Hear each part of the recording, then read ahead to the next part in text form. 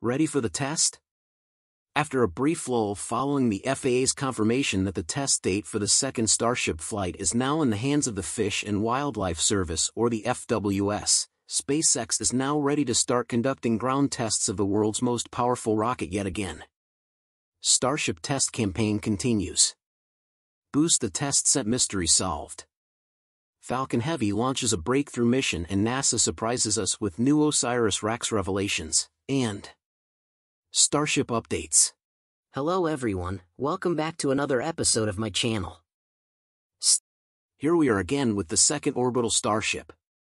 It's been just six months since the inaugural launch and we are on tender hooks for round two of the most powerful rocket ever constructed. You see those busy bees working hard on the booster's forward dome?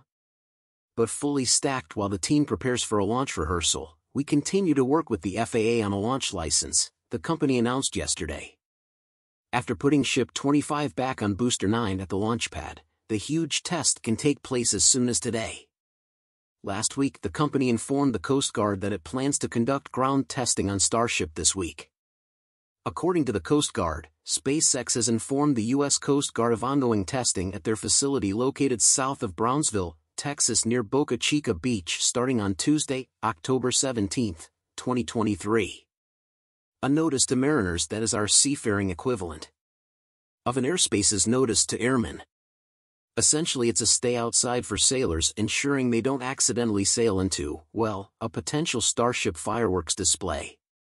The closed area is just too small for a safe booster splashdown. Static fire of the booster sounds offbeat, especially considering that Booster 9 had its fair share and trust me every such firing carries the dreaded oh no we have to replace a Raptor risk. But what if just if by the time you're seeing this the Starship was restacked? Odds are this NOTMAR was or is for a glamorous wet dress rehearsal. Think of it as a rocket's ultimate test. Tanks brimming with propellant a near complete countdown but no firing of the engines. Everything just stops a few seconds before the liftoff in preparation for the real deal. Swinging back to that NOTMAR there is one more contender in the ring. A static fire a ship 26 that's chilling at suborbital pad B. The restricted area for such a small test is on the broader side but perhaps SpaceX is thinking better safe than sorry right? The clock for the road closure is ticking from 8 a.m. to 8 p.m. Texas time. Assuming that nothing changed and you are watching this on the day of the premiere the road should be closed right now. During testing, a hazard area will exist in the vicinity of the SpaceX facility extending into South Bay and the Gulf of Mexico. The area below represents the U.S. waters portion of the hazard area SpaceX identified as susceptible to potential hazards including blast pressure, debris, gaseous leaks, and fires during the tests the state also matches road closures granted to SpaceX for its test site in Boca Chica with October 17 being the primary date and the following two days being backup opportunities. The local government's notice for the closure confirms that the test activities will be non-flight. So how can you know if that's the real deal and we're about to see some methane action? Look out for the notice to Boca Chica villagers about an overpressure event this heads-up typically appears a day before any testing that includes methane. It lets everyone in the area know that in the worst-case scenario SpaceX will pay for their new windows. Going back to Ship 20 SIXS Hangout the suborbital testing site. We're finally cracking the enigma of the construction near the tank farm. The mystery was solved after our newest flyover thanks to Redline Helicopter who make it possible. Want to book your own ride at Starbase and find the latest mystery or just enjoy one of the coolest views in the world? You'll find the link below I highly recommend it. In our latest speculation session we talked about this spot being either covered with concrete to mitigate dust or and here's the thrilling bit a new test pad for the boosters.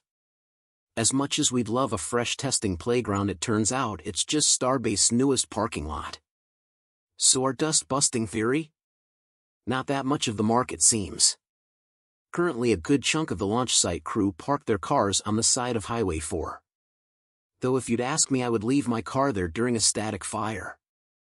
As the test phases for both vehicles at the launch site draw to a closed SpaceX is already stacking up on next-gen prototypes and that brings our focus to the build site. You remember what I told you the last time we were.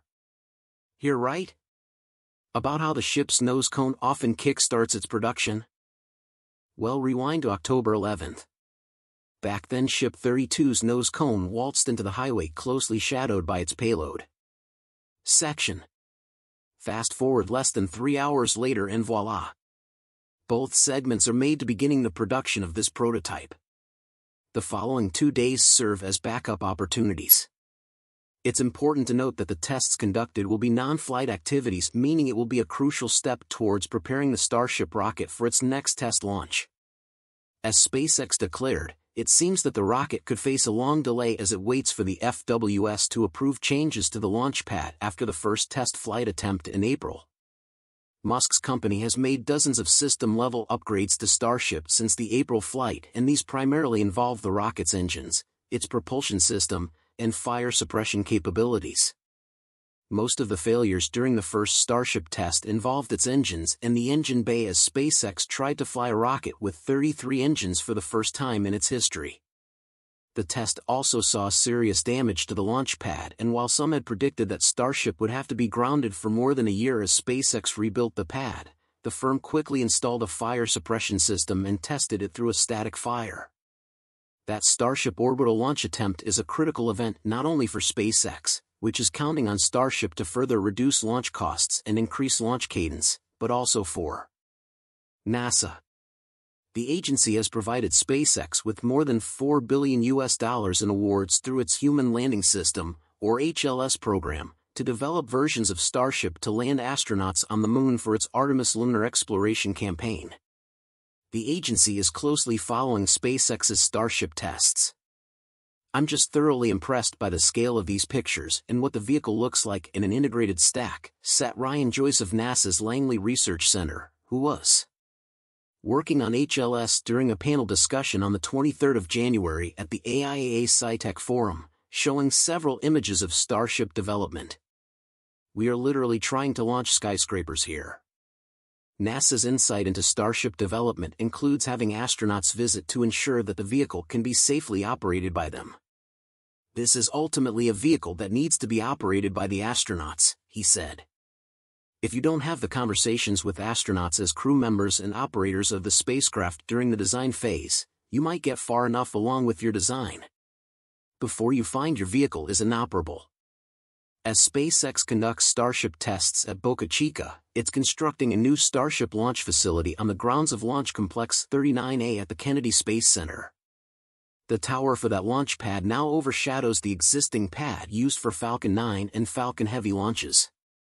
It's very exciting to see the progress being made at SpaceX facilities right now, including at KSC where they're building a second orbital launch capability, he said. NASA's HLS awards leave it up to SpaceX to conduct its lunar lander launches either from the KSC or Boca Chica, he noted. In short, we hope that today's test can bring Starship closer to its goal, reaching orbit and splashing down in the Pacific. In another piece of important news, Axiom Space's third private astronaut mission is on track for a liftoff next year. Houston-based Axiom Space's AX-3 flight remains on track for a launch toward the International Space Station no sooner than January of 2024. The four crew members, including a former NASA astronaut, a European Space Agency reserve astronaut and a passenger who flew to suborbital space with Virgin Galactic earlier this year, spoke with journalists on Monday, October 16 about their excitement. I'm very happy to be a part of this mission and this great crew. Swedish astronaut Marcus Wandt said during the live-streamed press conference emphasizing that AX-3 will include representation from government and industry alike in his country. I'm also proud of being trusted by Sweden and Europe to represent Sweden in space and throughout this mission, which to me is so much more than the 14 plus days in space and my background as a fighter pilot and test pilot as well.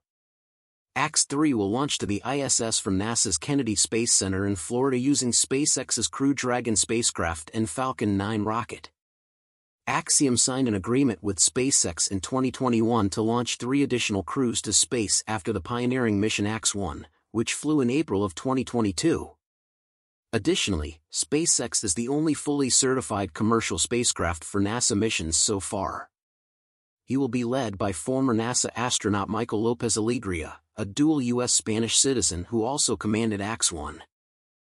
I'm also proud of being trusted by Sweden and Europe to represent Sweden in space and throughout this mission, which to me is so much more than the 14 plus days in space and my background as a fighter pilot and test pilot as well. AX-3 will launch to the ISS from NASA's Kennedy Space Center in Florida using SpaceX's Crew Dragon spacecraft and Falcon 9 rocket. Axiom signed an agreement with SpaceX in 2021 to launch three additional crews to space after the pioneering mission AX-1, which flew in April of 2022. Additionally, SpaceX is the only fully certified commercial spacecraft for NASA missions so far. He will be led by former NASA astronaut Michael Lopez Alegria, a dual U.S. Spanish citizen who also commanded AX-1. He will be joined by Wandt, who was called up from his reserve astronaut status when assigned to AX-3, Italian Air Force Colonel Walter Villadei who flew to suborbital space. On Virgin Galactic's first commercial launch this past June and Turkey's first citizen in space, Alper Gezeravcı. It will be Lopez Alegria's sixth space mission, Villadei's second and the first for Wandt and Geserafi. Lopez Alegria said the training is going smoothly and that the crew has learned a lot since AX-1. When other ISS astronauts had to step in to help the crew with their tasks, he said AX-1 was a startup mission accomplished on an aggressive timeline and that Axiom Space has matured its process since that time. When the follow-up mission, AX-2 in May of 2023, Commander and former NASA astronaut Peggy Whitson was tasked with fewer responsibilities to give her time to help the crew. If you like this video make sure to give a thumbs up, and subscribe see you in the next video, thanks for watching. By the way are you familiar with Talk Philippines app? toktok is a delivery service app designed to connect more people by delivering items door to door. For more information, download the toktok app, here down below.